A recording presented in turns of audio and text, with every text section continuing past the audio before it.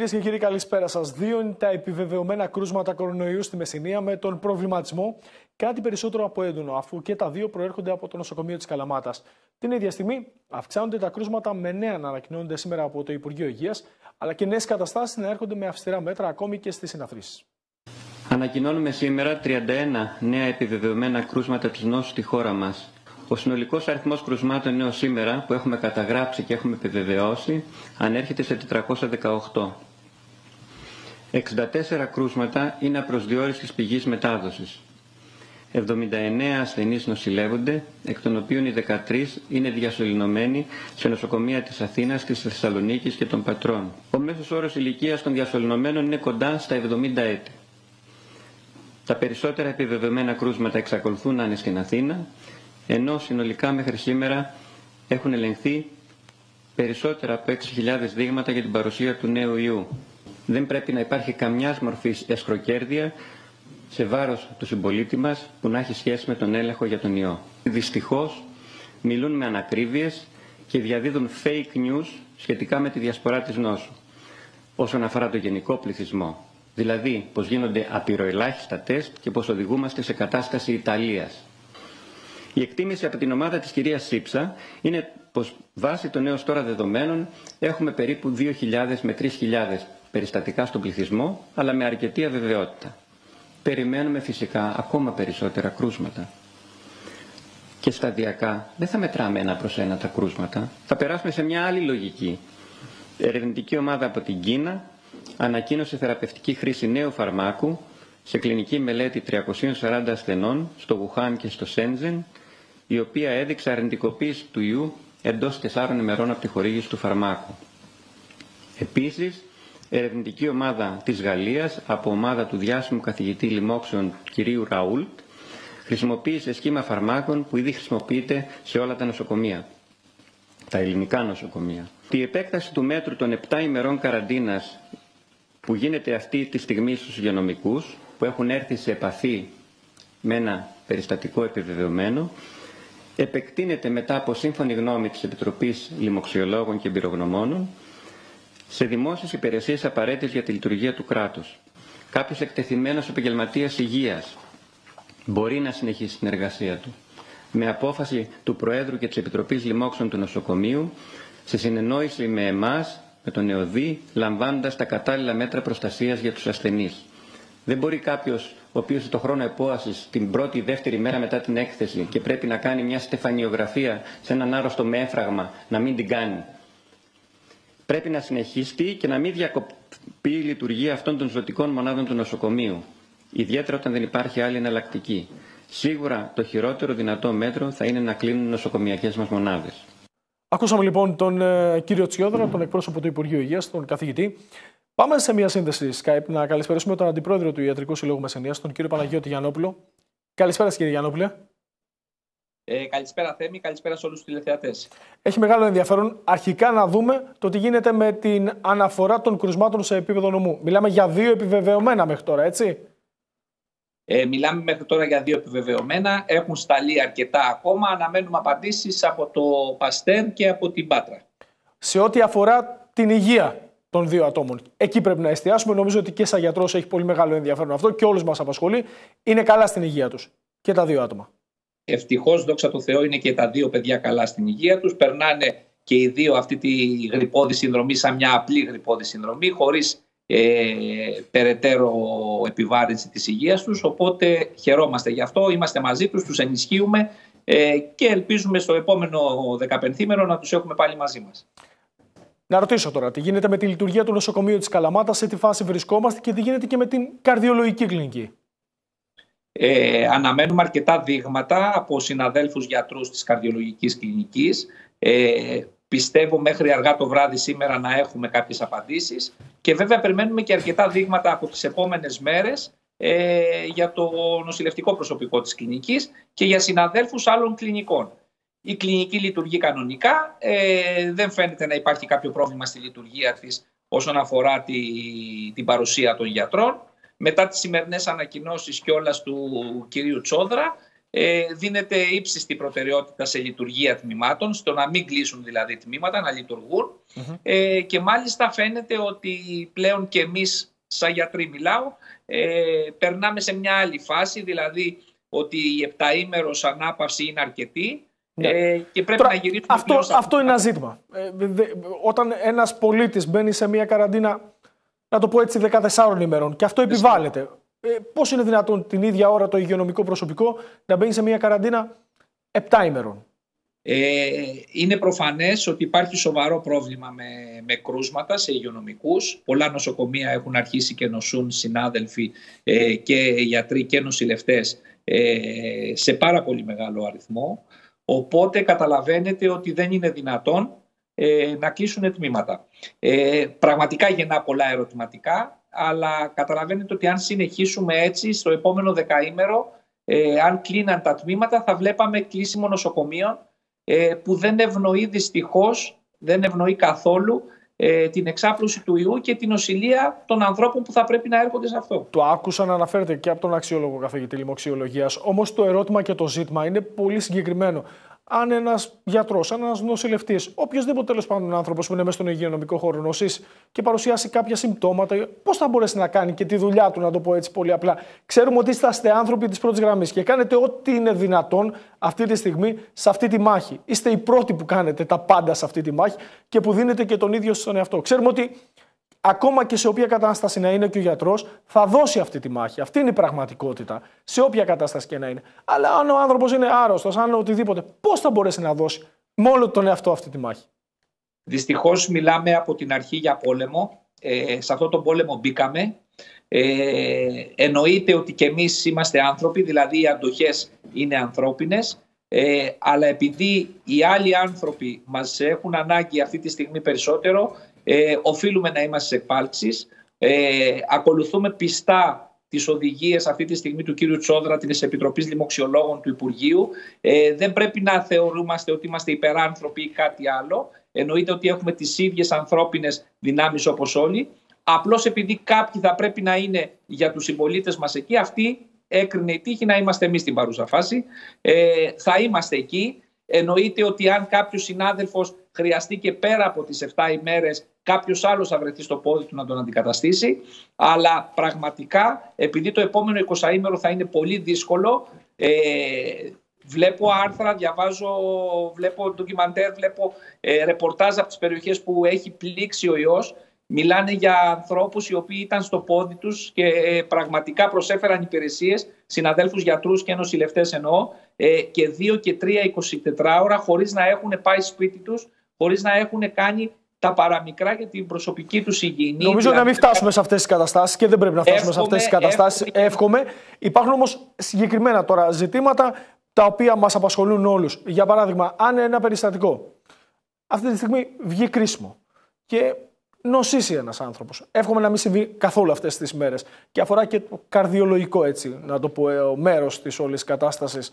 Πού θα φιλοξενηθεί αυτό, Θα πάει Τρίπολη, θα πάει ε, Κυπαρισία, Πώς ακριβώς έχετε αυτή τη στιγμή αναπτύξει ένα σχέδιο; Νομίζω ότι στην παρούσα φάση αναμένουμε να έρθουν πρώτα τα αποτελέσματα των ε, δειγμάτων των συναδέλφων και των νοσηλευτριών ε, που θα έρθουν μάλλον από αύριο, των συναδέλφων γιατρών αλλά και των νοσηλευτριών που θα έρθουν από αύριο, να δούμε το μέγεθος του προβλήματος σε πρώτη φάση, να δούμε τη δυναμική αυτή τη στιγμή της κλινικής. Ε, σαν ιατρικός σύλλογος, ακούσατε τις προηγούμενες μέρες και από τον πρόεδρό μας, έχει γίνει μια προσπάθεια να μπορέσουμε να βρούμε συναδέλφους ειδικοτήτων πρώτης γραμμής αυτή τη στιγμή και αυτοί είναι και οι καρδιολόγοι ιδιώτες που θα δηλώσουν παρόν σε αυτή τη μάχη ε, σας πληροφορώ ότι υπάρχουν άνθρωποι αυτή τη στιγμή, ιδιώτες καρδιολόγοι, που μπορούν να συνδράμουν και θέλουν να συνδράμουν προς αυτή την προσπάθεια.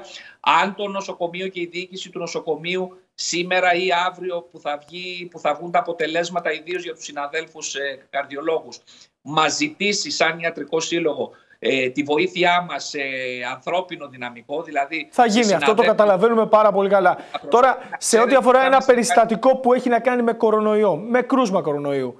Ευχόμαστε να μην συμβεί, να μην δούμε κάτι περισσότερο.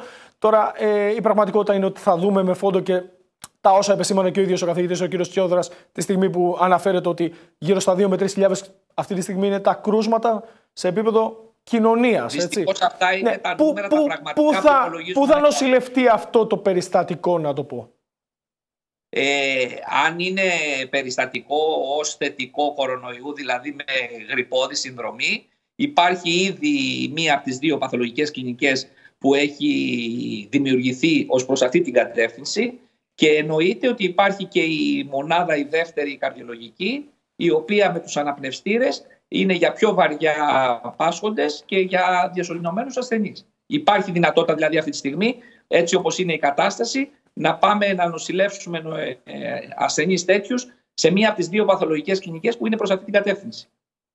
Ωραία.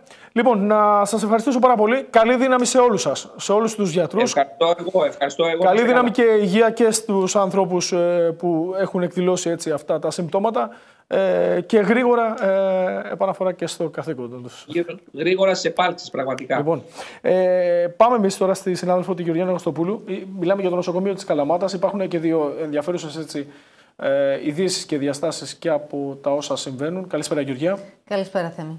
Λοιπόν, αρχικά να πούμε ότι σήμερα το νοσοκομείο της Καλαμάτας το επισκέφθηκε ο Περιφερειάρχη Πελοποννήσου, Παναγιώτη Νίκας, και το λέμε αυτό γιατί φαίνεται ότι θα τρέξουν μια σειρά από παρεμβάσεις σε επίπεδο στήριξης. Και είναι πάρα πολύ σημαντικό γιατί είναι κάτι που έχουν ζητήσει και έχει τεθεί από πάρα πολύ νωρίς ε, στο επίπεδο της στήριξης και ειδικά του εξοπλισμού και εν προκειμένου, γιατί ήταν μαζί με τον ε, κύριο Διαμαντόπουλο, με τον Βασίλη Διαμαντόπουλο, που είναι ο έτσι, περιφερειακός διευθυντής ε, υγείας της Πελοποννήσου, αλλά και η αναπληρώτρια προϊσταμένη της Μεσσηνίας. Κατέγραψαν την κατάσταση, συζήτησαν εκεί με τους υπευθύνους. Αυτό που αναφέρθηκε και είναι πάρα πολύ σημαντικό είναι η πρόθεση να υπάρξει πολύ σύντομα κιόλας ε, η προμήθεια ε, και παραχώρηση στο νοσοκομείο της Καλαμάτας μια συσκευής μοριακού ελέγχου που κοστίζει 40.000 ευρώ έτσι ώστε να μπορούν να γίνονται ε, και τα τεστ και τα λοιπά. Και επίσης υγειονομικό υλικό το οποίο αυτό θα αποσταλεί από αύριο το πρωί mm-hmm. κιόλας και έχει να κάνει με στολές, γάντια και όλα Νομίζω τα ότι είναι πολύ σημαντικό αυτό για τα τεστ. Μην ξεχνάμε ότι τις προηγούμενες ημέρε το είχαμε συζητήσει και ο Δήμαρχος Άργου Μηγινών, ο κ. Καμπόσος, μαζί με τον Δήμαρχο Ναυπηλίων, ε, τον Δημήτρη του Κοστούρου, προχώρησαν στην προμήθεια ενός τέτοιου μηχανήματος που θα επιταχύνει, να το πούμε έτσι, τη διαδικασία σε ό,τι αφορά τον διαγνωστικό έλεγχο. Και μην ξεχνάμε ότι αυτή τη στιγμή θα αρχίσει να ανεβαίνει κατά πολύ ο ρυθμός σε ό,τι αφορά τα τεστ που γίνονται. Από την άλλη, υπάρχει ένα σοβαρό ζήτημα και πρέπει να το δούμε έτσι με την όλη του διάσταση. Νομίζω αύριο υπάρχει και ε, στην. Ε, συνέντευξη. Ναι, υπάρχει και μια συνέντευξη. Ε, έκκληση η αίμα.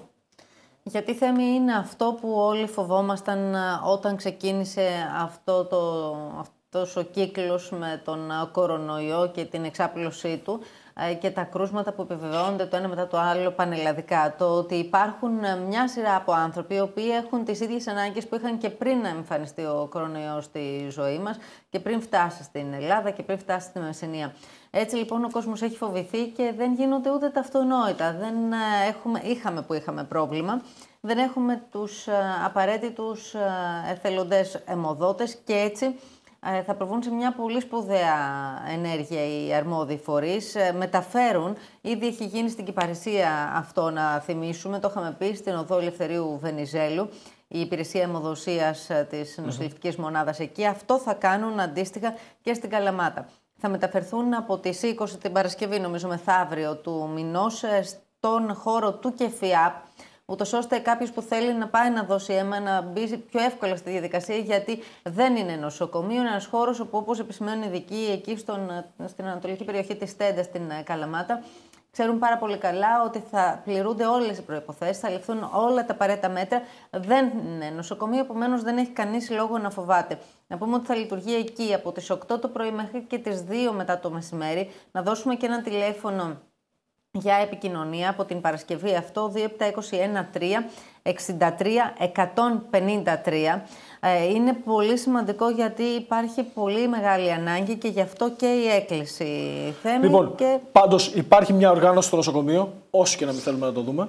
Ε, ένα νοσοκομείο έχουμε, καλός ή κακός, αυτή τη στιγμή και πρέπει να πούμε ότι και για το νοσοκομείο της Καλαμάτας και για το νοσοκομείο της Κυπαρισία γίνονται ενέργειες από όλους τους ανθρώπους, είτε είναι άνθρωποι στον υγειονομικό χώρο, που κύρια είναι αυτοί, είτε είναι άνθρωποι στο διοικητικό μηχανισμό, που και αυτοί κάνουν το δικό τους καθήκον. Ο Γιώργος Ομπέζος είναι εκεί από το πρωί μέχρι το βράδυ. Τρέχουν όλοι σε αυτή την κατεύθυνση, σε αυτή τη μάχη, στην πρώτη γραμμή. Ναι. Να πω ότι έχουμε μία πληροφορία της τελευταίας στιγμής ε, τα πρώτα 12 δείγματα ε, που φτάνουν σε ό,τι αφορά το προσωπικό του νοσοκομείου ε, και τα οποία είχαν σταλεί από χθες είναι όλα αρνητικά. Και αυτό είναι σημαντικό. Λοιπόν, ε, το σημειώνουμε ξανά τα 12 πρώτα δείγματα που φτάνουν από τα ερευνητικά κέντρα σε ό,τι αφορά ε, την αξιολόγηση των κρουσμάτων, πιθανών κρουσμάτων κορονοϊού, είναι όλα αρνητικά. Λοιπόν, πάμε στον ε, Γιάννη τον Παυλάκο, τον οποίο τον έχουμε στην άκρη της τηλεφωνικής μας επικοινωνίας. Έχουμε το πρώτο κρούσμα κορονοϊού στη Σπάρτη. Καλησπέρα, Γιάννη. Καλησπέρα, Θέμη. Καλησπέρα, Γεωργία. Καλησπέρα στους φίλους τηλεθεατές μας. Πρώτα απ' όλα θέλω να σου στείλω ένα μήνυμα από τη Λακωνία και δεν είναι άλλο από αυτό που με, μου λένε με ένα θέμη ότι η τηλεόραση ΠΕΣ παρόλο τις πολύ δύσκολες συνθήκες παραμένει στο πόστο, όλοι οι δημοσιογράφοι, όλο το τεχνικό επιτελείο είναι εκεί και είναι ένα μήνυμα το οποίο αφορμή δοθήσει από την σημερινή μας ε, ζωντανή σύνδεση. Είναι κάτι το οποίο και εγώ θέλω να μεταφέρω στον αέρα. Ότι βρισκόμαστε εδώ, εσείς εκεί στο δικό σας πόστο, εμείς εδώ στη Λακωνία, όλοι οι καλοί συνάδελφοι στην υπόλοιπη περιφέρεια. Δίνουμε τον καλύτερο μας σε αυτό για την σωστή ενημέρωση. Λοιπόν, η σωστή ενημέρωση έρχεται και από. Ναι. Λοιπόν, υπά, υπάρχει, υπάρχει μια μικρή διαφοροποίηση στο πρόγραμμά μας. Νομίζω το έχουν δει και το έχουμε πει και τις προηγούμενες ημέρες. Ε, που έχει να κάνει με την ενημέρωση από τη Δυτική Ελλάδα. Ε, με την βοήθεια των συναδέλφων θα καταφέρουμε να το αποκαταστήσουμε έτσι, να το πω έτσι σε εισαγωγικά ε, σε ό,τι έχει να κάνει με την ενημέρωση. Υπήρχε το δελτίο ειδήσεων στις 8. Πλέον σε λίγο η Εφη Καρούνια θα είναι μαζί μας για να μας πει τα νεότερα από τη Δυτική Ελλάδα. Θα δούμε και τις επόμενες μέρες πώς θα διαμορφώσουμε το πρόγραμμά μας. Πρέπει και εμείς να είμαστε σε μια συνθήκη ικανοί ε, στο να παρέχουμε ενημέρωση στον κόσμο σε αυτές τις δύσκολες στιγμές. Γι' αυτό και υπάρχουν και σε εφαρμογή μια σειρά από προληπτικά μέτρα και από εμάς. Πάμε λοιπόν τώρα στην είδηση. Είναι κάτι που αγαπάμε Θέμη και αυτό που αγαπάμε πάντα το έχουμε ψηλά. Λοιπόν, η είδηση έρχεται από το νοσοκομείο της Σπάρτης, εδώ που στη Λακωνία μπαίνει πλέον και η Λακωνία και η Σπάρτη στο χάρτη των περιοχών ανά την Ελλάδα που πολίτης ε, προσβάλλεται με τον κορονοϊό, πρώτο θετικό δείγμα ε, κορονοϊού σε έναν ε, άντρα 88 ετών με καταγωγή από την ε, περιοχή της Μάνης, συγκεκριμένα την κοκάλα της Μάνης, εκεί που για δύο ημέρες νοσηλευόταν με ήπια συμπτώματα, χωρίς να διατρέχει κίνδυνος, γιατί ακουστήκαν πολλά και οφείλουμε να το πούμε αυτό. Ο άνθρωπος ε, ε, είναι καλά στην υγεία του, όσον αφορά τουλάχιστον τα συμπτώματα. Έχει κορονοϊό, αλλά έχει προσβληθεί με την ε, ασθένεια, αλλά τα συμπτώματα είναι ήπια ε, αμέσως ε, βεβαίως ε, μπήκε στην ειδική μονάδα που διαθέτει το νοσοκομείο της Σπάρτης. Προληπτικά ε, θα περάσουν και από ο έλεγχο και από εξετάσεις ε, νοσηλευτές και γιατροί οι οποίοι ήρθαν σε επαφή με τον συγκεκριμένο άνθρωπο και επίσης εξετάζεται ένα ακόμα άτομο, ένας άντρας ε, μεγάλης ηλικίας και αυτός ο οποίος ε, εξετάζεται για το θέμα του κορονοϊού. Γενικά όμως υπάρχει ψυχραιμία, υπάρχει σύνεση, σοβαρότητα. Οι αρμόδιες αρχές είναι εκποδό. Όλοι ακολουθούν τα προβλεπόμενα μέτρα τα οποία ε, έχουν εξεκληθεί από το Υπουργείο Υγείας και προχωράμε μέρα με την ημέρα παρακολουθώντας πάντα θέμη κυρίες και κύριοι τις εξελίξεις και από τον Ομολακωνίας. Για να σε ευχαριστήσουμε πάρα πολύ. Τώρα, σε συνέντευξη τύπου των Υπουργών Οικονομικών Εργασίας και Ανάπτυξης, ανακοινώθηκαν τα μέτρα στήριξης των επιχειρήσεων, εργαζομένων και νοικοκυριών που πλήττονται λόγω της εξάπλωσης του κορονοϊού. Χθες, ο Πρωθυπουργός Κυριάκος Μητσοτάκης, σε διάγγελμά του, ανακοίνωσε πως θα δοθούν 2 δισεκατομμύρια ευρώ στην οικονομία, ενώ ο κ. Σταϊκούρα ανέφερε το πρωί πως θα δοθούν ακόμα 1,8 δισεκατομμύρια ευρώ. Μέτρα 2 δισεκατομμυρίων ευρώ για την στήριξη επιχειρήσεων, 1 δισεκατομμυρίου για τα νοικοκυριά, καθώς και 1,8 δισεκατομμύρια από το πακέτο στήριξης που εξήγηλε η Ευρωπαϊκή Ένωση, ανακοίνωσαν τα συναρμόδια Υπουργεία Οικονομικών, Εργασίας και Ανάπτυξης. Πρώτον, αναστολές φόρων και εισφορών επιχειρήσεων. Τα μέτρα αφορούν όλες, αυστηρά όμως, τις επιχειρήσεις που ανήκουν στους κλάδους που πλήττονται δραστικά λόγω της εμφάνισης και διάδοσης του κορονοϊού. Τα μέτρα είναι οριζόντια, καθώς αφορούν όλες τις επιχειρήσεις συγκεκριμένων όμως κωδικών αριθμών δραστηριότητας, είτε αυτές μένουν ανοιχτές, είτε λειτουργεί μέρος των δραστηριοτήτων τους, είτε κλείνουν με κρατική εντολή, είτε κλείνουν με δική τους πρωτοβουλία. Δεν αφορούν το σύνολο της οικονομίας. Οι επιχειρήσεις των εν λόγω κλάδων αναστέλλονται για τέσσερις μήνες δηλαδή ως 31 Ιουλίου για τις οφειλές Μαρτίου, χωρίς τόκους και προς αυξήσεις ή κάτωθι πληρωμές. Η καταβολή οφειλών που έχουν βεβαιωθεί από δηλώσεις ΦΠΑ πληρωτές Μαρτίου. Η καταβολή κάθε είδους βεβαιωμένων οφειλών στις ΔΟΗ ή τα ελεγκτικά κέντρα. Η καταβολή των δόσεων, ρυθμίσεων, τμηματικής καταβολής βεβαιωμένων οφειλών. Δεύτερον, χρηματοδότηση των επιχειρήσεων. Θα υλοποιήσουμε διευρυμένο πλαίσιο χρηματοδότησης υπό την μορφή επιστρεπτέας προκαταβολής με εκτεταμένο χρονικό ορίζοντα αποπληρωμής και περίοδο χάριτος για όλες τις επιχειρήσεις που πλήττονται δραστικά λόγω της εμφάνισης και διάδοσης του κορονοϊού συνολικού ύψους ενός δισεκατομμυρίου ευρώ. Το ύψος της διαθέσιμης χρηματοδότησης θα λαμβάνει υπόψη τη μείωση του τζίρου των επιχειρήσεων καθώς και το μισθολογικό και μη μισθολογικό κόστος των εργαζομένων που απασχολούν. Τρίτον, εργαζόμενοι. Όλοι οι εργαζόμενοι για τους οποίους αναστέλλεται προσωρινά η σύμβαση εργασίας τους λόγω αναστολής λειτουργίας της επιχείρησης με κρατική εντολή θα λάβουν αποζημίωση στις αρχές Απριλίου από τον κρατικό προϋπολογισμό ύψους 800 ευρώ. Και από τους τρεις υπουργούς σημειώθηκε ότι δεν θα ενισχυθούν επιχειρήσεις που σε αυτή τη δύσκολη περίοδο θα προχωρήσουν σε ανέτειες απολύσεις ή δεν θα σεβαστούν την εργατική νομοθεσία. Στα 800 ευρώ θα ανέλθει τελικά η αποζημίωση προς τους πολίτες, των οποίων αναστάλει η σύμβαση λόγω αναστολής λειτουργίας της επιχείρησης στην οποία εργάζονται. Για τους αυτοαπασχολούμενους, ελεύθερους επαγγελματίες και ατομικές επιχειρήσεις που πλήττονται, για το διάστημα 15 Μαρτίου 30 Απριλίου θα δοθεί στις αρχές Απριλίου ενίσχυση 800 ευρώ. 2 επιδότηση ενοικίου, επιδότηση επιτοκίου ενήμερων επιχειρηματικών δανείων για τρεις μήνες για τους κλάδους οικονομίας που πλήττονται άμεσα από τον κορονοϊό. Σε περίπτωση που η κρίση συνεχιστεί, το μέτρο δίνεται να επεκταθεί περαιτέρω χρονικά. Σε συνεννόηση τρίτον, σε συνεννόηση με την Ευρωπαϊκή Επιτροπή για την περίοδο επανεκκίνησης οικονομίας θα υλοποιηθεί εγκυοδοτικός μηχανισμός για χορηγήσεις δανείων κεφαλαίου κίνησης σε μικρομεσαίες επιχειρήσεις έως 3 δισεκατομμύρια ευρώ. Αυτά λοιπόν από τους υπουργούς ως ανακοινώσεις, όμως η πραγματικότητα μένει να αξιολογηθεί. Και αυτή η πραγματικότητα σίγουρα είναι πολύ δύσκολη. Σήμερα ακούσαμε και τις πρώτες επιπτώσεις που υπάρχουν στον ξενοδοχειακό κλάδο, που προσμετρούνται σε πολλά εκατομμύρια ήδη ευρώ. Στην άκρη τη τηλεφωνικής μας επικοινωνίας, ο πρόεδρος της Ένωσης Ξενοδόχων Μεσηνία, ο κ. Δημήτρης Καραλής. Καλησπέρα σας. Καλησπέρα και από μένα. Είδαμε και μια οξία, εγώ θα πω, ανακοίνωση και από την Ένωση Ξενοδόχων Μεσηνία ότι τα μέτρα αυτά δεν επαρκούν. Και όχι μόνο δεν επαρκούν, αλλά οδηγούν στην αυτοδιάλυση χιλιάδες τουριστικές επιχειρήσεις.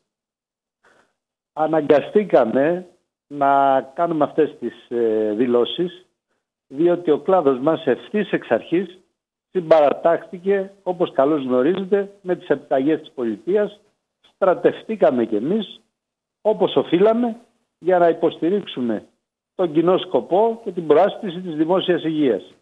Όμως σήμερα με τις εξαγγελίες των μέτρων οι αρμόδιοι υπουργοί της κυβέρνησης απέδειξαν ότι βρίσκονται σε εντελώς άλλο μήκος κύματος. Είναι εκτός πραγματικότητος.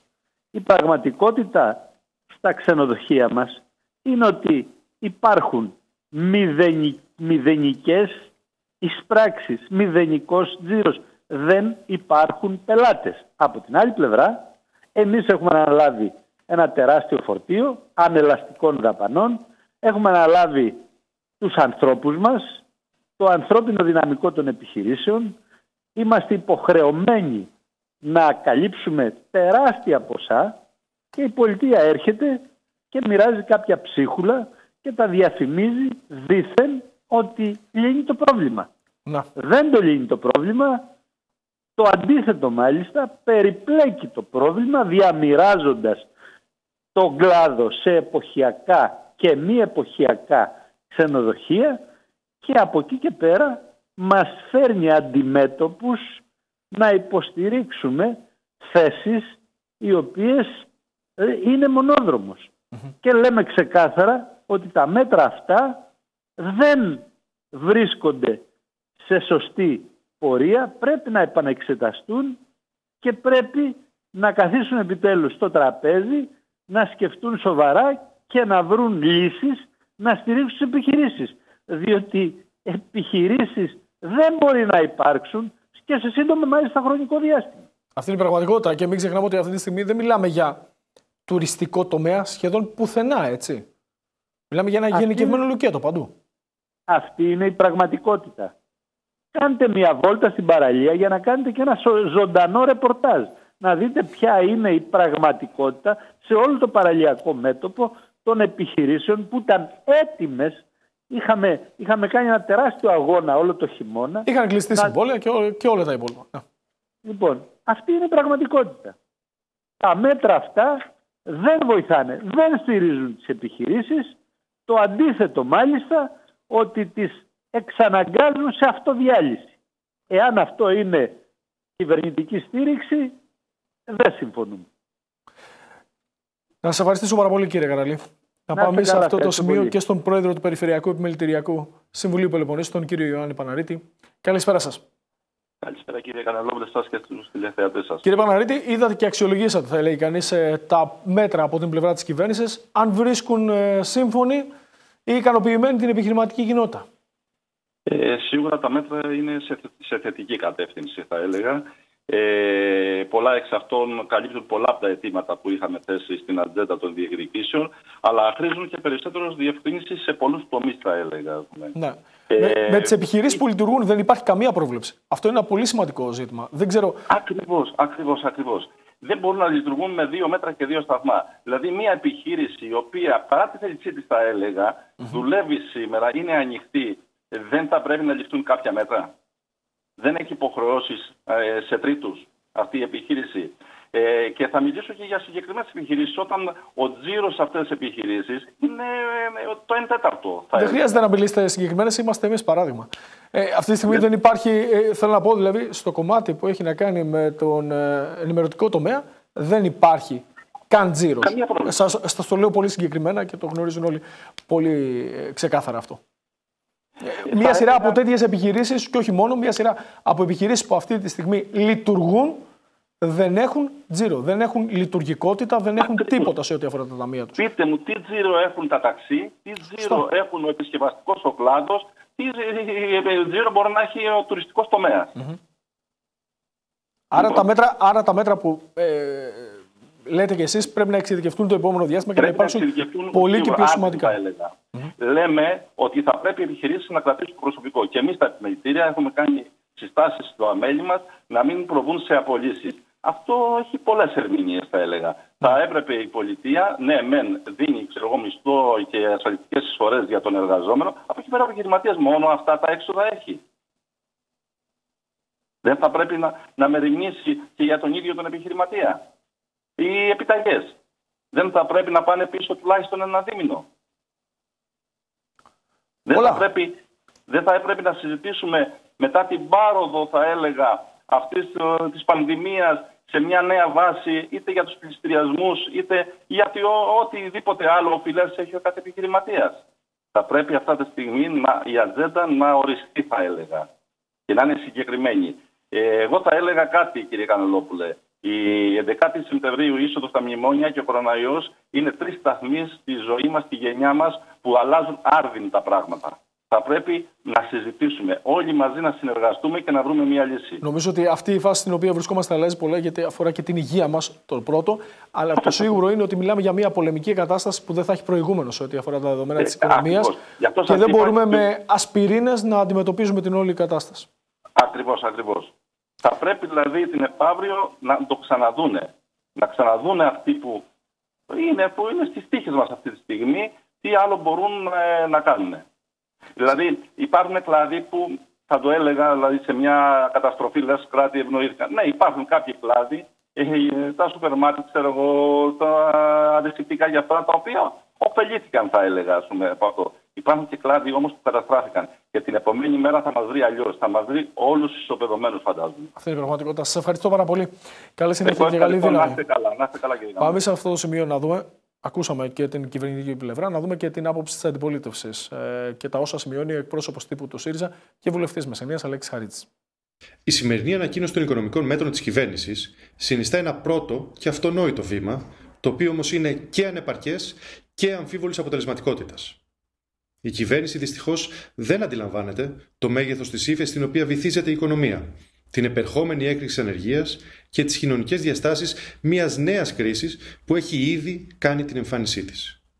Πιο συγκεκριμένα, το ποσό των 800 ευρώ για 1,5 μήνα είναι εξαιρετικά χαμηλό. Είναι κάτω από τον κατώτατο μισθό και δεν επαρκεί για την κάλυψη των εργαζομένων. Απαιτείται πλήρης καταβολή μισθών και πλήρης κάλυψη του μισθολογικού κόστου των επιχειρήσεων από το κράτος. Ενώ χιλιάδες εργαζόμενοι μένουν εκτός του επιδόματος αυτού αφού απασχολούνται σε επιχειρήσεις που δεν έχουν κλείσει αλλά υπολειτουργούν. Απαιτούνται οριζόντια μέτρα που θα καλύψουν όλους τους κλάδους της οικονομίας. Ενώ και για τους ελεύθερους επαγγελματίες και επιχειρηματίες πρέπει να υπάρξει ειδικό επίδομα, το οποίο θα ισούται με το 1 δωδέκατο του περσινού καθαρού εισοδήματός τους, με ελάχιστο τον κατώτατο μισθό και μέγιστο ένα πλαφόν που θα ορίσει η κυβέρνηση. Τα κίνητρα και οι παρενέσεις εξάλλου για αποφυγή απολύσεων δεν επαρκούν. Ποιος ξενοδόχος ή επιχειρηματίας πείθεται να μην απολύσει όταν κατακριμνίζεται ο τζίρος του; Απαιτείται γενικευμένη απαγόρευση απολύσεων. Αλλιώς θα οδηγηθούμε σε φαινόμενα έκρηξης ανεργίας. Απαιτείται επιπλέον ακύρωση των απολύσεων που ήδη πραγματοποιήθηκαν τον τελευταίο μήνα, καθώς και απαγόρευση δυσμενούς μετατροπής συμβάσεων, όπως για παράδειγμα από πλήρους εμερική απασχόληση. Απαιτείται εξάλλου ρύθμιση για τον μη συμψηφισμό ημερών μη εργασίας λόγω κορονοϊού με τις τακτικές άδειες των εργαζομένων. Ενώ ταυτόχρονα πρέπει να προστατευτούν οι εργαζόμενοι των επιχειρήσεων των οποίων τα ωράρια έχουν επεκταθεί, όπως για παράδειγμα στα σούπερ μάρκετ.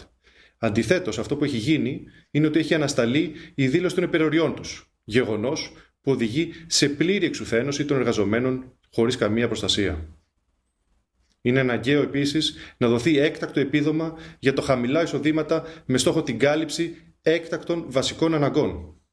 Ενώ απαιτείται αναστολή των πληστηριασμών της πρώτης κατοικίας για την οποία δεν υπήρξε μέχρι τώρα καμία μέρημνα. Πρέπει τέλος άμεσα να υπάρξει παρέμβαση της κυβέρνησης προκειμένου οι τράπεζες να παγώσουν την καταβολή δόσεων κεφαλαίου και για τα φυσικά πρόσωπα που μέχρι πριν την κρίση ήταν συνεπείς. Ιδάλως, θα βρεθούμε μπροστά σε έκρηξη νέων κόκκινων δανείων και μαζικούς πληστηριασμούς πρώτης κατοικίας. Όλα τα παραπάνω συνιστούν απολύτως αναγκαίες παρεμβάσεις για τη στήριξη επιχειρήσεων, εργαζομένων και νοικοκυριών. Η κυβέρνηση δεν μπορεί να υποτιμά την κλίμακα και το βαθμό μετάδοσης των προβλημάτων στο σύνολο της οικονομίας. Με τις σημερινές ανακοινώσεις δίνει λιγότερα από όσα μπορεί, χωρίς κανείς να την εμποδίζει να δώσει Αυτά λοιπόν από την ε, πλευρά των αναφορών από τον βουλευτή Μεσσηνίας και εκπρόσωπο τύπου του ΣΥΡΙΖΑ. Να καλησπέρισουμε μαζί μας και ο διευθυντής τηλεόρασης τον Νίκος Μπελογιάννη. Καλησπέρα, Νίκο. Λοιπόν, ε, τώρα, Γεωργία, ε, για το υγειονομικό μέρος, επαναλαμβάνουμε την είδηση που έχει να κάνει ότι έχουμε 12 κρούσματα 12 δείγματα αρνητικά σε ό,τι αφορά τις τελευταίες πληροφορίες από το νοσοκομείο της Καλαμάτας. Και πάμε να δούμε τι θα γίνει πια και σε ό,τι αφορά τα δεδομένα της λειτουργίας. Νομίζω ότι ο κύριος ε, Γιαννόπουλος νωρίτερα μας εξήγησε πώς θα αντιμετωπίζονται τα περιστατικά. Ε, να κρατήσουμε αυτό γιατί είναι πάρα πολύ σημαντικό και πάρα πολύ θετικό. Βέβαια, να πούμε ότι έχουν ληφθεί τόσα και άλλα τόσα ενδεχομένως και από το υγειονομικό προσωπικό αλλά και γενικότερα. Μακάρι να πάνε όλα καλά. Μακάρι να μείνουμε σε αυτά τα δύο κρούσματα. Ωστόσο και οι εκτιμήσεις του κυρίου Τσιόδρα δεν ήταν ευίωνε. Ε, είπε και ο ίδιος ότι κάποια στιγμή θα σταματήσουμε να μιλάμε και με αριθμούς. Ότι τα κρούσματα μπορεί ήδη αυτή τη στιγμή στην Ελλάδα να είναι 2 με 3 χιλιάδες. Ξέρουμε πώς ε, έχει η κατάσταση. Ας ε, κάνουμε το αυτονόητο όλοι όσο μπορούμε να περιοριστούμε για να σταματήσει εδώ αυτή η κατάσταση. Ένα σχόλιο που, μια και σας άκουσα με τον ε, Παναγιώτη Γεννόπουλο, νομίζω ότι έχει πολύ μεγάλο ενδιαφέρον και το είδαμε και στις αναφορές του κυρίου Τσιόδρα. Έχει να κάνει με τους γιατρούς στα νοσοκομεία κυρίως, που είναι πάρα πολύ εκείνοι, όπως συνέβη και έχουμε και τα δύο πρώτα κρούσματα με υγειονομικό προσωπικό εδώ στην Καλαμάτα, που έχουν ε, νοσήσει. Και βλέπουμε πόσο μεγάλο είναι το κενό και μια και θα μιλήσουμε και για τα μέτρα που λαμβάνονται. Εδώ ας έρθουμε λίγο να σταθούμε στην πολιτεία και στο τι κάνει. Υπήρχαν ελλείψεις έτσι κι αλλιώς. Πόσο μάλλον τώρα. Πώς θα λειτουργήσουν τα νοσοκομεία, τους λέει μείνετε εκεί να δουλέψετε στην πραγματικότητα. Ενώ εμένα και σένα και στον καθέναν που ενδεχομένως μπορεί να μπει στη διαδικασία, το 7 το κάνανε, θα πάρετε τα μέτρα που πρέπει και θα μείνετε εκεί να βοηθήσετε τον κόσμο. Δεν ξέρω πόσο ε, επικίνδυνο ή όχι είναι αυτό, πόσο εύκολο και πόσο μεγάλο κενό αποδεικνύει ότι υπάρχει υπάρχει στη δημόσια υγεία. Αυτό είναι το σημαντικό, το κενό στη δημόσια υγεία. Προφανώς όμως υπάρχουν ε, και συγκεκριμένες πλέον ε, οδηγίες και κατευθύνσεις που βγαίνουν από τον ΕΟΔΗ. Ξέρουν λίγο καλύτερα από εμάς και ας το ελπίσουμε ότι ξέρουν καλύτερα από εμάς. Ε, αυτό που λέει ο Θέμης στο τελευταίο νομίζω ότι είναι και το πιο, και το πιο κύριο. Ε, διότι αυτή τη στιγμή τώρα πρέπει να ακολουθούμε, αυτοί έχουν ένα σχέδιο. Μην κάνουμε όλοι τους ειδικούς. Έχουν ένα σχέδιο. Πώς θα δουλέψω και θα κάνω, θα φτιάξω. Αυτοί με αυτό το σχέδιο το οποίο έχουν κάνει, συμφωνώ. Το κενό. Υπάρχει κενό, πρόβλημα ναι. έτσι. Και Μα πώς το θα κενό λειτουργήσει. είπε, ε, ζήτησε νομίζω 2.000 άτομα να τα προσλάβει. Δεν ξέρω τι, τι- με τι τρόπο πάνε να κάνουν. Το σχέδιο που έχει ακολουθήσει η κυβέρνηση μέχρι τώρα, αυτή τη στιγμή και με τα δείγματα που έχουμε μέχρι τώρα, τη έχει βγει. Τη έχει βγει και αυτή τη στιγμή νομίζω ότι είναι από τις από τις καλύτερες ευρωπαϊκές χώρες. Και με σκληρά μέτρα, έτσι. τα σκληρά μέτρα, τα, τα, τα ανακλαστικά της κυβέρνησης δηλαδή, Έχουν λειτουργήσει. έχει- έχουν, έχουν Σε αυτό λειτουργήσει. το επίπεδο. Ναι, Σε έχουν αυτό. λειτουργήσει. Τώρα τα υπόλοιπα, αυτό που, που θα πρέπει να κάνουμε όλοι, το πρώτο απ' όλα είναι να ζήσουμε. Αυτοί που θα ζήσουν μετά θα έχουν άλλο γολγοθά. Που δεν το Στο λέω, δεν ξέρω φανταζόμαστε να γίνει. ούτε Μετά, σε μετά τα πόλεμο, οικονομικά εγώ θα αυτά, πω. από ο κ. Καραλής, αυτό που είναι σε, είναι σε δεύτερη, σε δεύτερη φάση τώρα. Εδώ πέρα έχει διαλυθεί το σύμπαν. Κακά τα ψέματα. Εδώ πέρα οικονομικά έχει διαλυθεί, έχει διαλυθεί ε, το σύμπαν. Δεν θα υπάρχει Υπάρχουν- κλάδος. Δεν θα υπάρχει Μα κλάδος δεν- παραγωγικός. δεν, Αυτό δεν είναι υπάρχει πραγματικό. τίποτα. Αυτή τη στιγμή και αυτοί που υπολειτουργούν και κάνουν ε, προς τιμήν του. Και εγώ θέλω να δώσω συγχαρητήρια πρώτα απ' όλα στους γιατρούς και σε αυτούς οι οποίοι Κάποιοι λένε ότι είναι δουλειά τους. Βέβαια και είναι δουλειά τους, αλλά μπορούσαν να την κάνουν διαφορετικά. Λοιπόν, μπορούσαν, μπορούσαν να, να πήχαν κιόλας λόγω του κινδύνου που έχουν για αυτοί. Αλλά, εν πάση περιπτώσει, αυτοί είναι, ε, όλοι αυτοί οι οποίοι μπλέκονται εκεί, οι γιατροί, οι νοσηλευτέ και όλο το υπόλοιπο, να δοθούν συγχαρητήρια στους δημοσιογράφους. Γιατί κακά τα ψέματα αυτό που δεν το λέει κανένας αυτή τη στιγμή αυτό.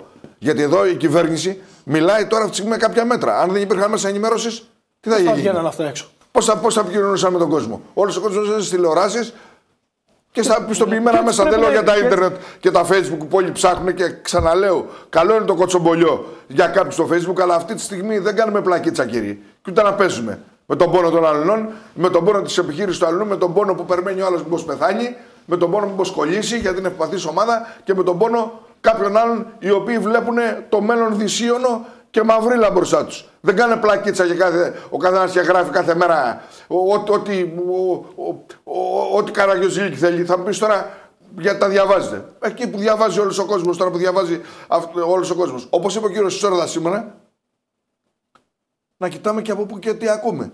Από τους γιατρούς και αυτά τα πράγματα. Έτσι όπως είχα πει και εγώ προχτές για τα πιστοποιημένα μέσα ενημέρωσης. Να, να ενημερώνει ο κόσμος. Ξαναλέω, πρώτα στου γιατρούς, μετά σε εσάς, σε όλο τον κόσμο, σε όλους τους δημοσιογράφους, σε όλους τους δημοσιογράφους οι οποίοι είναι από την πρώτη στιγμή σε επάλξει. Και στο πρώτο μέτωπο. Εγώ είδα τη Γεωργία εχθές, εκεί πέρα στο, στο νοσοκομείο, και πραγματικά πηγαίνει για το ρεπορτάζ κάθε μέρα και όπως με τα. ξέρεις, κάθε μέρα με, με πιάνει η ψυχή μου. Γιατί την έχω ξαναδεί και, και, και τότε με, το, με τη φωτιά. Θυμάσαι τότε με τα, τα αεροπλάνα. Όσοι παρακολουθούσαν και τότε θα βλέπανε τι αγώνα είχαμε κάνει εμείς από εδώ. Και όπως και όλοι οι δημοσιογράφοι. Αλλά από εκεί και πέρα, αξίζει συγχαρητήρια σε όλους. Καταρχήν στην αστυνομία, στην πυροσβεστική, σε όλους αυτούς οι οποίοι δουλεύουν στις υπαλλήλους στο υπηρεσίες. σούπερ μάρκετ, στους Φαρμακεία. Στους υπαλλήλους στα παλιού σούπερ μάρκετ, delivery. σε όλου σε όλους Σε οι όλους όσους οποίοι δουλεύουν. έχουν μείνει στι θέσει τους. Στη δημόσια δίκηση. Πραγματικά συγχαρητήρια σε αυτούς οι οποίοι έχουν μείνει στι θέσει τους. Γιατί είναι πολύ λίγοι. Είναι πολύ λίγοι στη δημόσια δίκηση, στους Δήμους και στο, και στο, και στο κράτος. Πολύ λίγοι. Ψάχνουμε να βρούμε να κάνουμε. Να πάρουμε ένα χαρτί, κάτι να κάνουμε. Ή να πληρωθούμε κι εμείς κάποια για να πληρώσουμε εδώ πέρα να δούμε τι γίνεται και δεν υπάρχει κανένας. Αυτοί οι οποίοι έχουν μείνει στις θέσεις τους, τους αξίζουν συγχαρητήρια. Και πρέπει να καταλάβουν και τη θέση τη δικιά μας και τη θέση των άλλων των οποίων δουλεύουν. Λοιπόν, αυτό το θέμα θα πρέπει να το καταλάβουμε όλοι και είναι πολύ σοβαρό. Και να αφήσουμε την πλακίτσα και τα, και τα μπύρι μπύρι και το ένα και το άλλο ή την ανθρωποφαγία προχθές με τον άνθρωπο ο οποίο. Γιατρό. Με τον γιατρό ο οποίος κόλλησε κορονοϊό. Δηλαδή, ε, επειδή κόλλησε κορονοϊό, ο άνθρωπος απάνω στο καθήκον κόλλησε κορονοϊό και βγήκε ο καθένα και έλεγε το μακρύ και το κοντό του. Ντροπή. Ντροπή, ιδιαίτερα για, για, για, για ένα γιατρό. Λοιπόν, και για οποιονδήποτε, όχι για ένα γιατρό, Γιατί κάθε άνθρωπο. για οποιονδήποτε. Για κάθε άνθρωπο. Μπορεί να κολλήσει ένας δημοσιογράφος, μπορεί να κολλήσει ο- ο- οποιοδήποτε. Ε, Σε αυτό το θέμα. Τι θα γίνει δηλαδή. Θα αρχίσουν οι άλλοι πίσω από το σπίτι τους, από το καναπέ να αρχίσουν να βρίζουνε και να κάνουν πλακίτσα; Για να σοβαρευτούμε.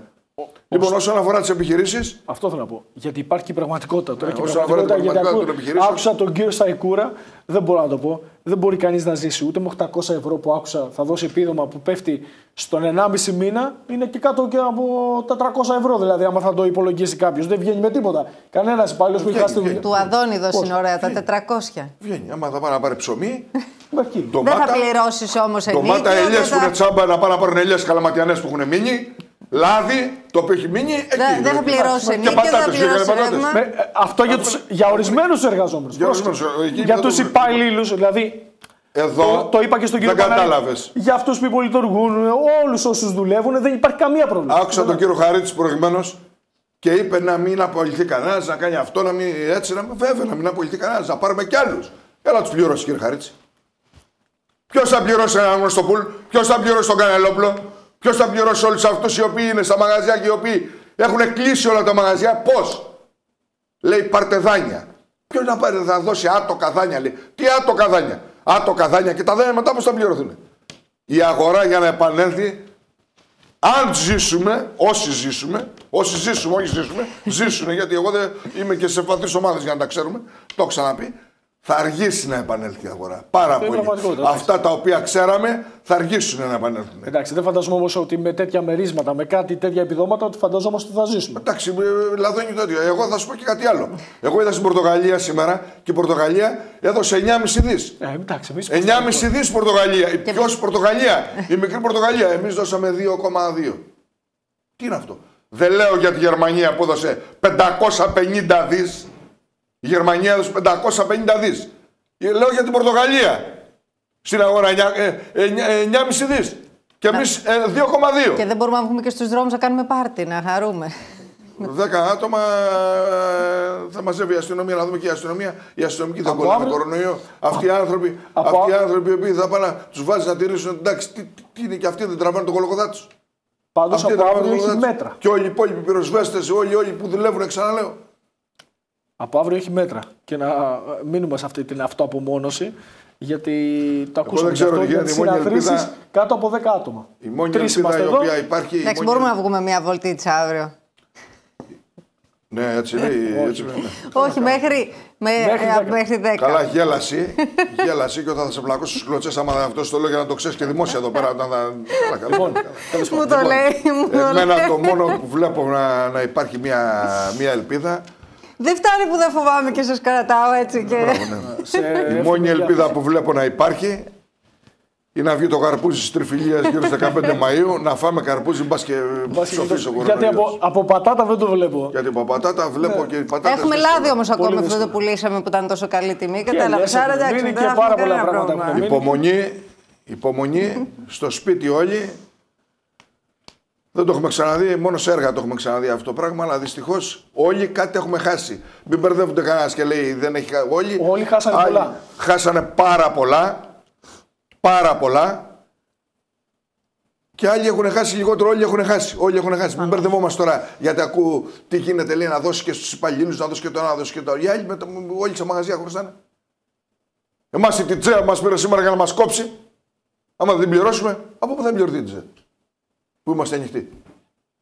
Άμα βγει και η ιδέα και μας κόψει τέλος του μήνα, και ο ΤΕ και όλα τα υπόλοιπα, Πολλά. μας Για- κόψε και το κεφάλι για, και Για τελειώσουμε. πολλά πρέπει να υπάρξει πρόβλεψη, αυτό λέμε. Γιατί αυτή τη στιγμή η πραγματικότητα των μέτρων. Αλλά ο δεν καθένας φαίνεται μιλάει ότι για τον αγγίζει πόνο τον του. ρεαλισμό. Γι' αυτό και ο κύριος Καραλής είπε έτσι και έτσι και εκεί χάνεται η χρονιά η Όλη η τουριστική. χρονιά. Ο Μιλάμε τουρισμό για τεράστιο ο τουρισμός αυτοί που Θέλει επενδύσανε. σοβαρά μέτρα στοχευμένα με πρόγραμμα ε, που βέβαια μπορεί να έχουν και το δίκαιο τους να είναι σε δεύτερο χρόνο γιατί προέχει η υγεία του κόσμου και να σταματήσει τέλος πάντων αυτό με την εξάπλωση. Αλλά πρέπει να κάτσουν λίγο πιο σοβαρά από ό,τι βλέπουμε αυτή τη στιγμή να γίνεται. Γιατί ακούμε αριθμούς και μένουμε εκεί. Με αριθμούς και τέτοια, αλλά το κυριότερο απ' όλα είναι ότι δεν υπάρχει σχέδιο. Και το σχέδιο το οποίο υπάρχει αυτή τη στιγμή οδήγησαν μια Ελλάδα, να το πω εγώ πιο, πιο βαριά, μια Ελλάδα η οποία να επενδύει μόνο στον τουρισμό.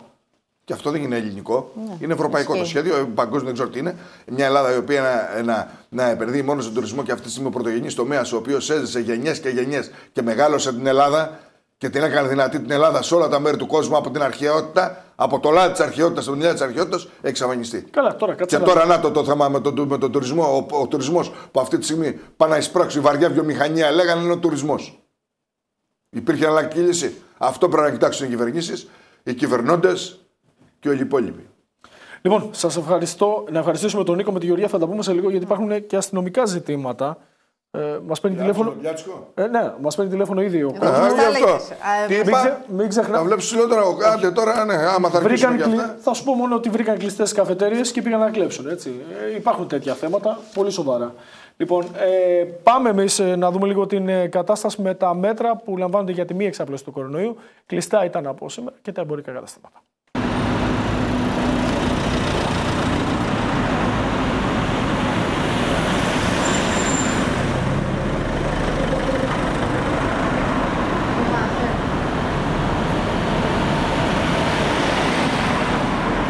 Αυτή ήταν σήμερα το πρωί η εικόνα στο κέντρο της Καλαμάτας με την κίνηση των οχημάτων στην οδό Αριστομένους παρά το κλείσιμο και των εμπορικών καταστημάτων κάτι περισσότερο από αυξημένο.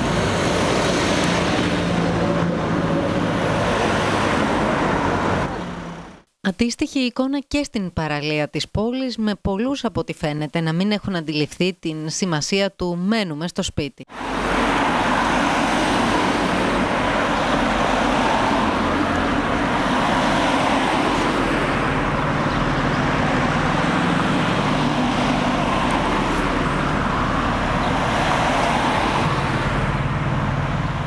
Εδώ και μέρες καταστήματα εστίασης, αλλά από σήμερα και τα εμπορικά καταστήματα και στην Καλαμάτα προφανώς είναι κλειστά στο πλαίσιο της μη εξάπλωσης του κορονοϊού. Αυτό που επισημαίνουν οι επαγγελματίες από την πλευρά τους, σύμφωνα με την πρόεδρο του Εμπορικού Συλλόγου, η οποία μίλησε χθες στην τηλεόραση Best, είναι πως όλοι βρίσκονται στην αναμονή της λήψης μέτρων από την πολιτεία. Περιμένουμε και η ΕΣΕ, το τρίτο βάθμιο συνδικαλιστικό μας όργανο, περιμένει νεότερα. Με ε, ελφέτο χρόνο θα ενημερώσουμε μέσω διαδικτύου τους συναδέλφους τι μέλη γενέστε για τις επιταγές του κόσμου που είναι στο τέλος του μήνα, για τις δόσεις τους στην εφορία, για τις δόσεις των δανείων τους, για τον ασφαλιστικό τους φορέα, όσο για τους υπαλλήλους. Ε, σαφώς τους δίνει δίνει κάποιο, ε, υποχρεώνεται ο καθένας να τον πληρώσει, αλλά ε, δίνει και το κράτος κάποια χρήματα για τους ε, υπαλλήλους. Δεν ξέρω ακριβώς ε, τι, με, τι πρόκειται να μας δώσει και, και τι αποδοχές θα έχουμε στο μέλλον. Ε, εν αναμονή νεωτέρων ε, αποφάσεων. Εδώ και 20 μέρες η κίνηση ήταν μηδενική στο 99% των καταστημάτων. Ελάχιστα καταστήματα που είχαν, ε, που είχαν πράγματα πρώτης ανάγκης ήταν, είχαν κάποια κίνηση, οι υπόλοιποι δεν είχαμε καθόλου. Η κίνηση ήταν μηδενική. Οπότε ε, καλό το μέτρο που μας κλείνει ούτως ή άλλως και έτσι θα έχουμε κάποιες απολαβές. Παραμένουν ανοιχτά και εκτός από αντισηπτικά και μάσκες με τα υπόλοιπα είδη δεν υπάρχει ζήτημα. Στο μεταξύ και εκεί τα μέτρα προστασίας είναι ιδιαίτερα αυξημένα. Κάτι παραπάνω από αυξημένα είναι τα μέτρα που λαμβάνουν και οι φαρμακοποιοί προκειμένου να μην εξαπλωθεί ο κορονοϊός. Τα φαρμακεία μένουν οπωσδήποτε ανοιχτά, οι φαρμακοποιοί είναι στην πρώτη γραμμή. Παρόλα τα χτυπήματα που έχουμε δεχτεί κατά διαστήματα, είμαστε ε, στην πρώτη γραμμή αυτή τη στιγμή και Θέλει πολύ μεγάλη προσοχή βέβαια από τον ε, κόσμο να μπαίνει ένας ένας μέσα, να κρατούμε τις αποστάσεις τουλάχιστον δύο μέτρα και θα πρέπει να, να, θα πρέπει να προσέχει και να μην πανικοβάλλεται ο κόσμος. Φάρμακα προς το παρόν υπάρχουν, εκείνα που δεν έχουμε είναι αντισηπτικά, μάσκες που έχουμε μεγάλη έλλειψη και σχεδόν δεν έχουμε ούτε για τους εαυτούς μας. Κανονικά όμως οι οδηγίες είναι ότι τις μάσκες πρέπει να τις ε, φοράει κάποιος που νοσεί και όχι οι άλλοι. Αλλά εδώ γίνεται το ακριβώς αντίθετο. Ο κόσμος έχει αρχίσει πλέον να προσέχει, όπως σημειώνει ο πρόεδρος του Φαρμακευτικού Συλλόγου Μεσσηνίας. Ο κόσμος ε, είναι πολύ προσεκτικός, ε, προσέχει, εντάξει, πλην ελαχίστων εξαιρέσεων δηλαδή, αλλά ο πολλής κόσμος προσέχει ακριβώς σύμφωνα με τις οδηγίες που καθορίζεται από το φαρμακοποιό.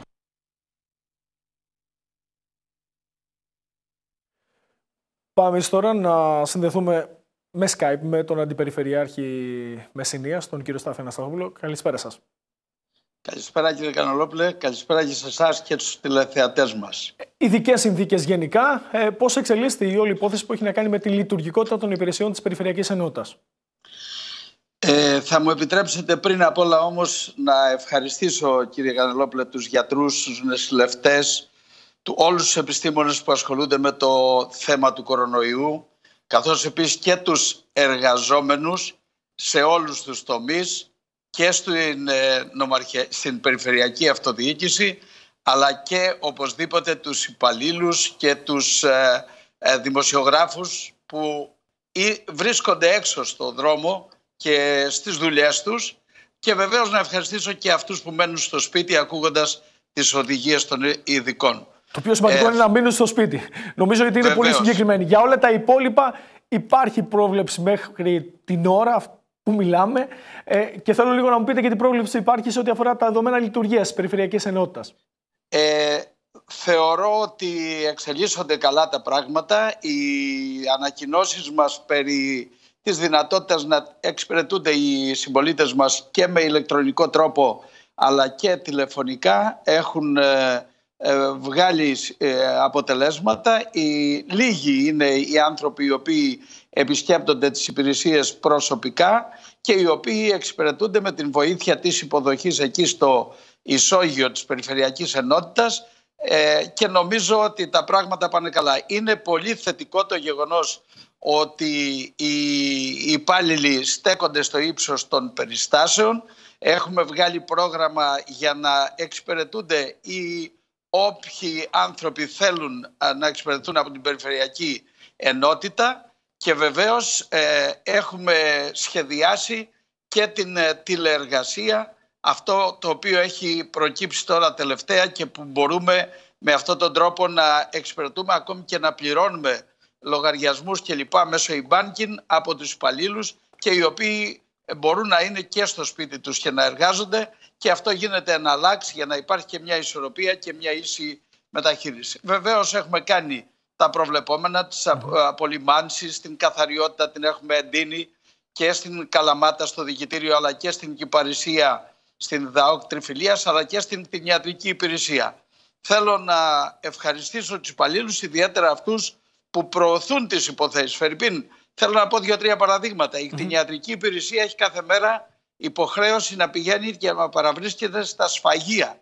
Είναι μια λειτουργία η οποία είναι απαραίτητη να συνεχιστεί. Συνεχίζονται οι διαγωνισμοί, είτε αυτή πρόκειται για δακοκτονία, είτε για, την, για τα έργα και η υλοποίηση έργων και για το ΓΟΕΒ έχουμε τα ζητήματα της ε, ε, των ε, συντηρήσεων στα, στις διόργειες για να μπορέσουμε έγκαιρα να αρχίσουμε την αρδευτική περίοδο η οποία φέτος όπως γνωρίζετε είναι και πιο γρήγορα.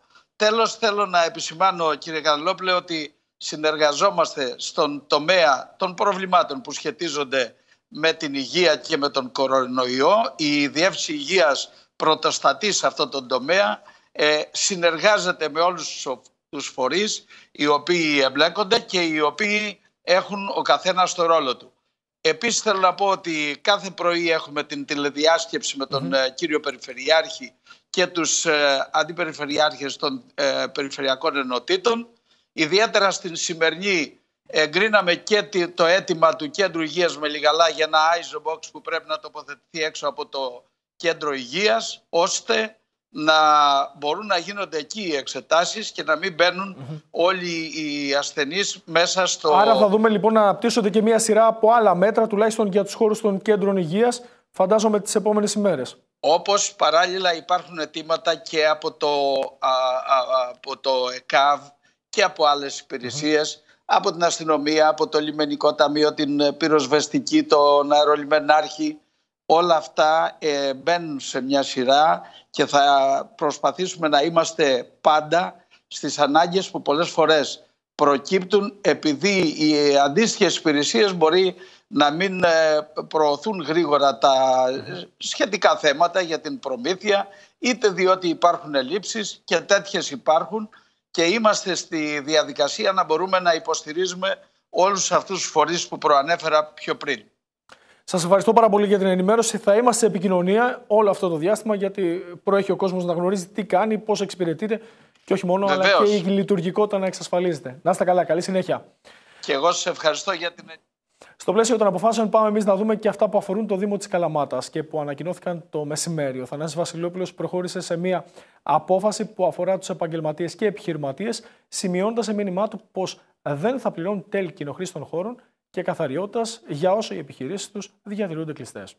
Και νέες αποφάσεις από τον Δήμαρχο Καλαμάτα στο πλαίσιο της αντιμετώπισης συνεπειών λόγω του κορονοϊού. Σήμερα ανακοινώθηκε η μηδενική καταβολή των τελών καθαριότητας για όσο οι επιχειρήσεις μένουν κλειστές, ενώ παράλληλα και η μηδενική καταβολή και για τα τέλη χρήσης κοινοχρήστων χώρων για όσο επιχειρήσεις διαθέτουν και για όσο διάστημα αυτές μείνουν κλειστές. Από την πρώτη στιγμή εμφάνιση αυτής της κρίσης στην παγκόσμια κοινότητα αλλά και στη γειτονιά μας, ο Δήμος Καλαμάτας την αντιμετώπισε με τη δέωσα σοβαρότητα και ετοιμότητα, λαμβάνοντας πολλές φορές αποφάσεις αυστηρές που στόχο είχαν την προάσπιση της δημόσιας υγείας. Πολλές φορές οι αποφάσεις αυτές προηγήθηκαν των αποφάσεων της πολιτείας. Ένας Δήμος όμως οφείλει, εκτός από το να προετοιμάζει και να συντονίζει, να δείχνει και το κοινωνικό του πρόσωπο. Προς τις ευπαθείς ομάδες, προς τους συμπολίτες μας και προς τους επαγγελματίες που πλήττονται. Τους επαγγελματίες δηλαδή, τους βιοτέχνες, τους εμπόρους, τα τουριστικά επαγγέλματα. Έτσι λοιπόν σήμερα εκδόθηκε απόφαση με μηδενική καταβολή των τελών καθαριότητας για όσο οι επιχειρήσεις μείνουν κλειστές σύμφωνα με την πράξη νομοθετικού περιεχομένου και για μηδενική καταβολή για τα τέλη χρήσης κοινόχρηστων χώρων και πάλι όσο οι επιχειρήσεις μείνουν κλειστές. Έτσι, μέσα από τη στήριξη των επαγγελματιών της επιχειρηματικότητας, στηρίζουμε και τις θέσεις εργασίας. Συγχρόνως, λειτουργεί το τηλεφωνικό κέντρο, το συντονιστικό τηλεφωνικό κέντρο για τον κορονοϊό, θα το ενισχύσουμε αυτό ώστε να εξυπηρετούμε και τις ανάγκες των συνδημοτών μας που έχουν πραγματικά ανάγκη. Και από σήμερα έγινε αναστολή λειτουργίας της ελεγχόμενης στάθμευσης. Δεν θα λειτουργεί η ελεγχόμενη στάθμευση στους δρόμους, στην αγορά και στο κεντρικό πάρκινγκ. Είναι δράσεις και πρωτοβουλίες που λαμβάνουμε ώστε να ενισχύσουμε την καθημερινότητα και να εξυπηρετήσουμε τις ανάγκες των συμπολιτών μας. Πάμε τώρα στην ε, Δυτική Ελλάδα και να συνδεθούμε ε, μέσω Skype με την ε, συνάδελφο την Εύη Καρούνια. Καλησπέρα, Εύη. Καλησπέρα, Θέμη. Καλησπέρα, κυρίες και κύριοι. Θα προσπαθήσουμε ε, τις επόμενες μέρες να έχουμε περισσότερες έτσι, και πιο συχνές, θα λέει κανείς, επικοινωνίες. Η πραγματικότητα είναι ότι λίγο πολύ ε, είμαστε σε αυτή τη φάση της επέλασης του κορονοϊού. Πώς έχει η κατάσταση στην Δυτική Ελλάδα; Πριν, πριν από όλα, Θέμη, να πω ότι το στούντιο της Πάτρας ε, έπρεπε να σταματήσει, ήταν επιβεβλημένο να αναστείλει προσωρινά το δελτίο. Ήταν μονόδρομος για μας, ε, καθώς ε, συνάδελφοι ανήκουν σε ευπαθείς ομάδες. Ε, πρώτα απ' όλα λοιπόν είναι η υγεία των ανθρώπων, η υγεία των, των συνεργατών μας. θα προσπαθήσουμε τις επόμενες ημέρες να αποκατασταθεί και να έχουμε και πάλι να μπούμε στην κανονική μας ροή. Ε, να ευχηθούμε να πάνε όλα καλά, να βγούμε αλόβητοι από αυτήν την, ε, την περιπέτεια και όλα τα υπόλοιπα θα τα, θα τα βρούμε. Τα προβλήματα είναι πάρα πολλά. Ε, τα, τα ακούσαμε και πριν, τα οικονομικά θέματα, ε, το βλέμμα όλων στραμμένο είναι σε αυτό το θέμα, το πώς οι επιχειρήσεις θα, θα διατηρηθούν, το πώς οι επιχειρήσεις θα βγουν από αυτή την, ε, την κατάσταση και θα, έρθουν στην, ε, θα μπουν και πάλι στην ε, κανονικότητα. Ε, να ευχηθούμε να πάνε όλα καλά λοιπόν. να πούμε τώρα Θέμη τι γίνεται εδώ στην Πάτρα σε σχέση με τον κορονοϊό. Ε, επίκεντρο είναι το Πανεπιστημιακό Νοσοκομείο της ε, Πάτρας στο Ρίο όπου εκεί νοσηλεύονται 20, 20 άτομα εκ των οποίων ένας 64χρονος διασωληνωμένος σε αρκετά σοβαρή ε, κατάσταση. Δύο άτομα στην ΜΕΘ, ένας 44χρονος και ένας 60χρονος και τα υπόλοιπα περιστατικά είναι με ε, σοβαρά ή και, λιγότερο ε, σοβαρά προβλήματα. σημαντικό είναι, όπως μας ενημέρωσε, ενημερωθήκαμε πριν από λίγη ώρα από τον κύριο Γόγο, έχουν γίνει τις τελευταίες ημέρες 400 έλεγχοι στο Πανεπιστημιακό Νοσοκομείο λιγότερα και έχουν βρεθεί λιγότερα από 10, ε, από 10 ε, κρούσματα. Λιγότεροι λοιπόν ε, από 10 συνανθρωποί μας θετικοί στον ε, κορονοιο Οι γιατροί βέβαια με αφορμή αυτό στέλνουν ένα μήνυμα ότι μπορεί να μην έχουμε πολλά κρούσματα στην περιοχή. Σε καμία περίπτωση όμως δεν πρέπει να εφησυχάζουμε, να ακολουθούμε. Ναι, δεν σημαίνει ότι δεν υπάρχει διασπορά ε, στην κοινότητα ε, γενικά. Αυτή είναι η Υπάρχει διασπορά, γι' αυτό λοιπόν μας καλούν όλους να μείνουμε στο σπίτι, να περιορίσουμε τις ε, μετακινήσεις μας.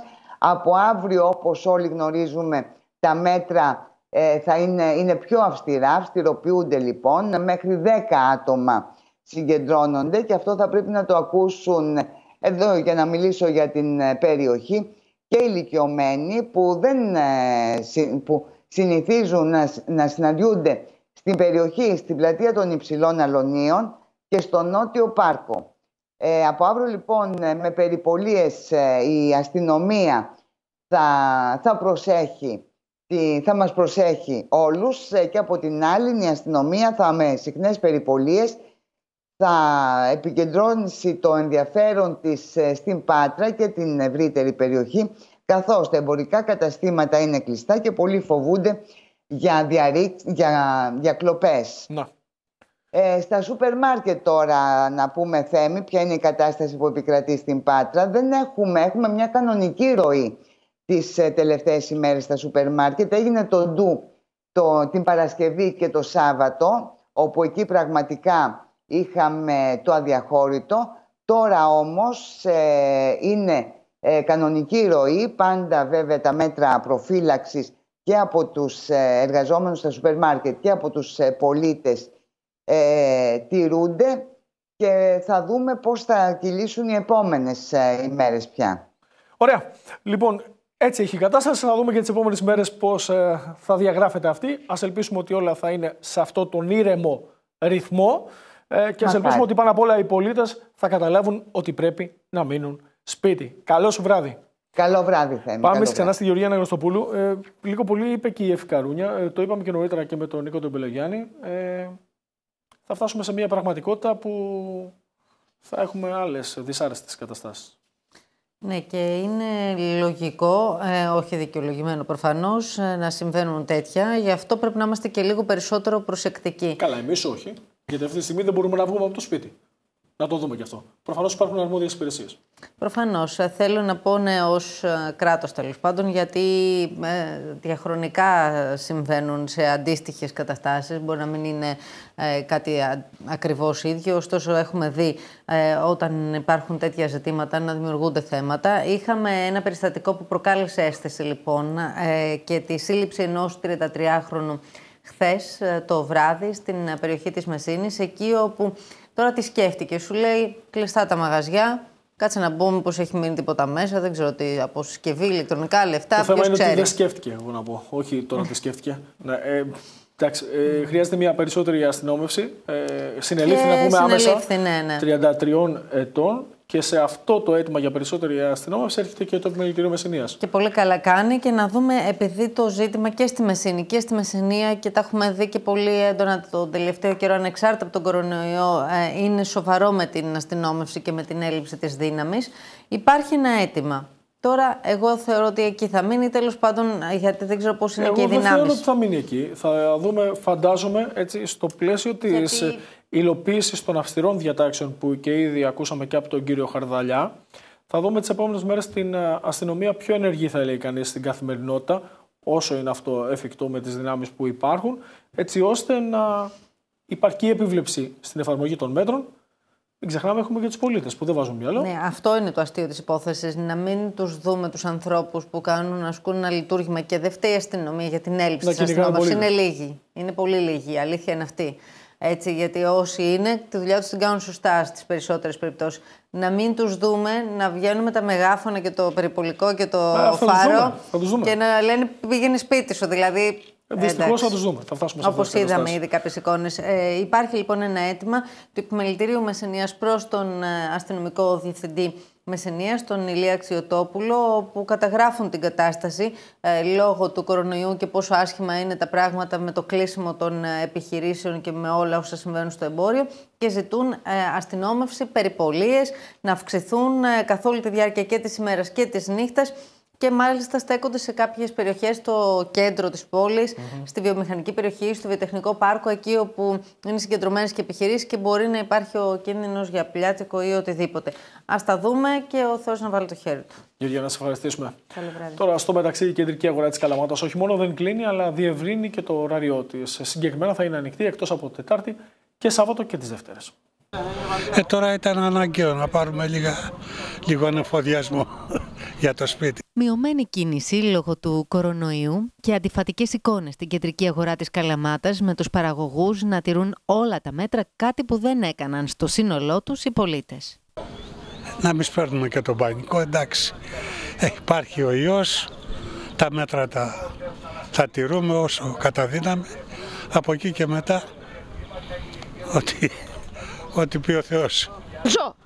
Ζω παιδιά μου, γιατί κάποια στιγμή πρέπει να ζήσουμε και ιδιαίτερα όταν έχουμε σπίτι άτομα που μας περιμένουν, επιβάλλεται να βγούμε και να προμηθευτούμε τα απαραίτητα.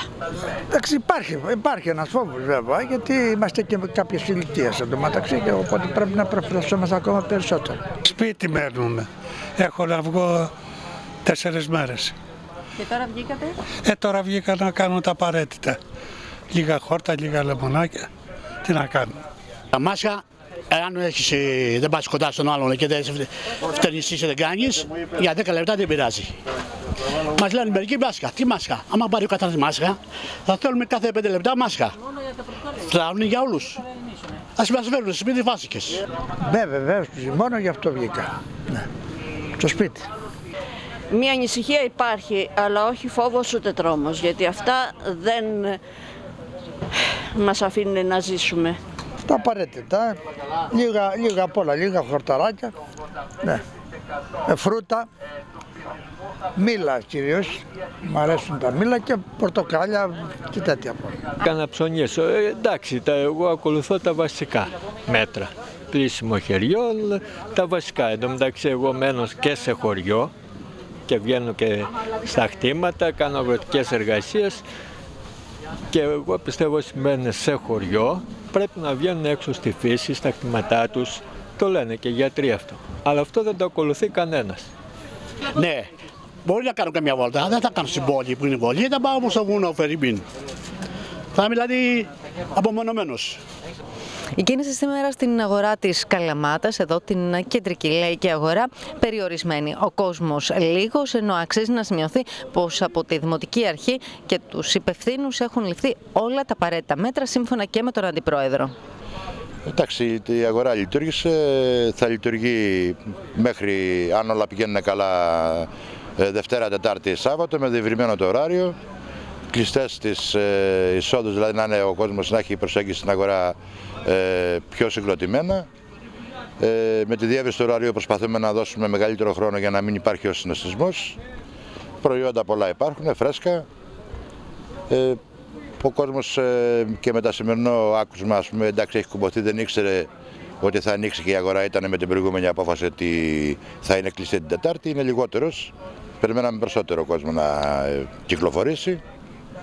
Η παραγωγή έχουμε ανταποκριθεί στο 100% ε, στα θέματα να έχουν ε, ε, αντισηπτικό στον πάγκο τους, να έχουν γάντια, να προσφέρουν γάντια στους ε, πελάτες, να, να φορούν οι ίδιοι μάσκα και γάντια. Ε, πιστεύω ότι όλα θα πάνε καλά. Προσοχή θέλει. Λίγο κόσμο. Φοβισμένος ο κόσμος και γρήγορα να ψωνίσει και να φύγει. Με όλα αυτά που συμβαίνουν έτσι με τον κορονοϊό και τα λοιπά να μπορέσουμε να σταθούμε και να προστατευτούμε, να κρατούμε όσο μπορούμε τη, τις, ε, τους κανόνες υγιεινής έτσι και προσπαθούμε. Ο κόσμος είναι λίγο τσιτωμένος, δεν υπάρχει συνοσυνισμός, είμαστε σχετικά ας πούμε βελτιωμένοι σε αυτό, δηλαδή έχουμε υπακούσει ας πούμε σε κανόνες και καλώς κάναμε έτσι, πολύ καλώς να μπορέσουμε να αποφύγουμε αυτό που συμβαίνει σε άλλες χώρες και αυτό που μπορεί να συμβεί και εδώ σε εμάς. έτσι, γιατί έχουμε φοβερό θέμα με το σύστημα υγείας αν τυχόν και συμβεί κάτι σημαντικό έτσι. Και σήμερα; Πολλοί κόσμος δεν ήξερε ότι είναι ανοιχτά η λαϊκή. Δεν ξέρω γιατί, δεν είχε ενημερωθεί, ενώ είχε, είχε περάσει στο μυαλό του ότι θα είναι κλειστά. Σήμερα πολλοί κόσμος λέει ανοίξατε, πότε σας δώσανε εντολή. Θεωρώ ότι, είναι, ότι θα πάμε καλά, έτσι, αν θα λειτουργήσουμε έτσι, με αυτόν τον τρόπο. Ε, εγώ και πάρα πολλοί συνάδελφοι εδώ κρατούν τους κανόνες υγιεινής και έτσι πρέπει. Αυτό πρέπει να κρατηθεί και από τη μεριά των καταναλωτών. Τώρα δεν ξέρω, από φόβο, δεν ξέρω πού οφείλεται αυτό. Ίσως να έχει προμηθευτεί όλα τα απαραίτητα από τις προηγούμενες μέρες και γι' αυτό δεν έχει πολύ κίνηση σήμερα. Cocooning είναι η νέα τάση που γίνεται trend. Η αναφορά του Πρωθυπουργού έφερε σχόλια, αλλά έδωσε και την διάσταση της κεντρικής κατεύθυνσης των ημερών στο σύνθημα Μένουμε σπίτι. Μένουμε λοιπόν σπίτι. Αυτό που άλλοτε το είπανε cocooning και έγινε τάση και μόδα για τους νέους, σήμερα είναι ανάγκη και χρέος για όλους. Ο Κυριάκος Μητσοτάκης έκανε διάγγελμα για τον κορονοϊό και παρότρινε το λαό να κάνει cocooning. Με την αναφορά του Πρωθυπουργού στον όρο αυτό προκλήθηκε χαμό στα social media, καθώς όλοι ήθελαν να μάθουν τι σημαίνει. Τι είναι το cocooning; Σύμφωνα με την Wikipedia, σημαίνει το να μένει κανείς μέσα στο σπίτι του, να απομονώνεται από τον κίνδυνο που έχει γίνει αντιληπτός.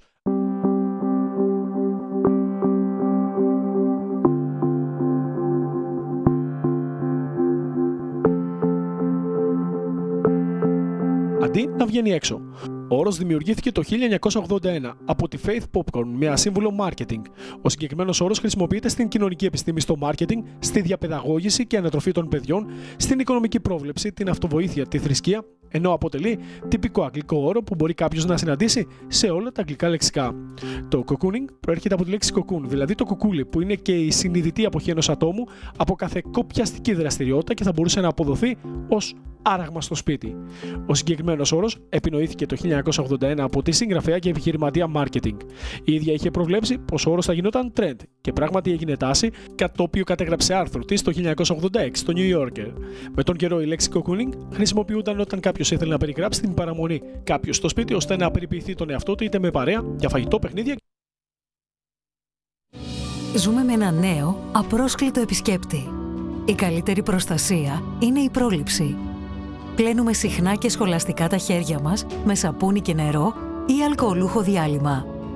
Αποφεύγουμε να αγγίζουμε με τα χέρια μας τη μύτη, το στόμα και τα μάτια μας. Καλύπτουμε το στόμα και τη μύτη μας με τον αγκώνα ή ένα χαρτομάντιλο όταν βήχουμε ή φταρνιζόμαστε. Αποφεύγουμε τις κοντινές επαφές όταν παρουσιάζουμε συμπτώματα κρυολογήματος ή με άτομα που εμφανίζουν συμπτώματα. Αν παρουσιάσουμε συμπτώματα πυρετού, βήχα ή δυσκολία στην αναπνοή, επικοινωνούμε με τον γιατρό μας ή με τον ΕΟΔΗ στο 1135 και παραμένουμε στο σπίτι μας.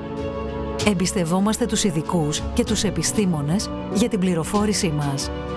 Προστατεύουμε τον εαυτό μας. Προστατεύουμε τον συνάνθρωπό μας. Περιφέρεια Δυτικής Ελλάδας.